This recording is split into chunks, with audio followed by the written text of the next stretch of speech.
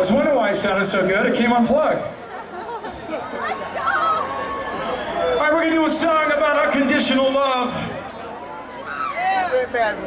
And uh, a couple years ago, I became a dad to twins, little four-year-olds, man. oh, maybe you saw Wife Swap with Coolio? I had to send my wife to Coolio's house. She's still mad at me. Lovely man! His wife was lovely.